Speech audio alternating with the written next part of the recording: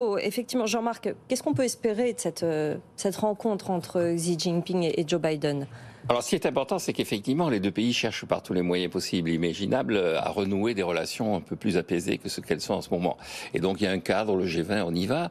Mais ce qui est important aussi, c'est que euh, il y a des gens qui construisent leur puissance sur leur démographie.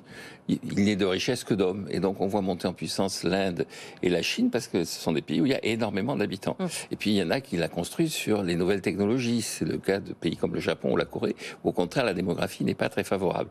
Et, et, et donc, euh, comme l'a dit Jean-François, il y a une espèce de basculement de la Chine en ce moment.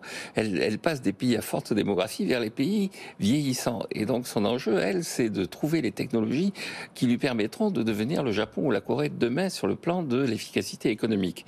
Et donc, elle a un enjeu qui suppose qu'elle soit pas trop en bisbille avec les lieux de création de la, des hautes technologies comme la Californie dont je parlais la semaine dernière. Qu'est-ce qui oppose actuellement? Quels sont les sujets de contentieux, Jean-François Dimeglio, entre Pékin et Washington? Bah, Vous savez que Joe Biden a indiqué qu'il y avait des lignes rouges à ne pas franchir dans, la, dans, dans le dialogue. Et bah, il est clair que le tout premier, euh, c'est bien sûr Taïwan. Et puis, euh, parce que bon, le, le, ton, euh, jusqu'à ces tout derniers jours, le, le ton à Pékin était monté. Euh, et puis là, euh, aujourd'hui, dans le South China Morning Post, on a effectivement des représentants de euh, l'armée chinoise qui nous disent non, on n'est pas si pressé que ça de reprendre Taïwan.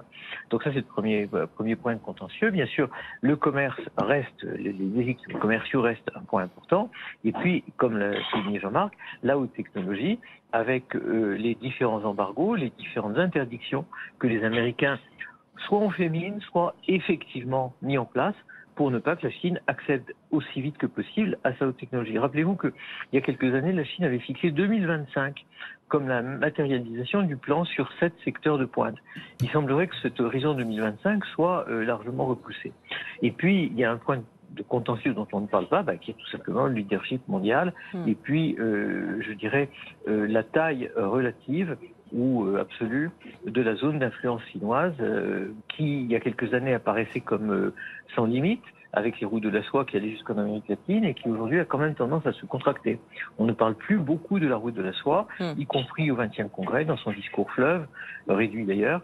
Xi Jinping a très peu évoqué la route de la soie, même si elle fait partie de la constitution chinoise, ce qui permet justement de ne pas en parler tous les jours. Merci Jean-François Dimeglio. Jean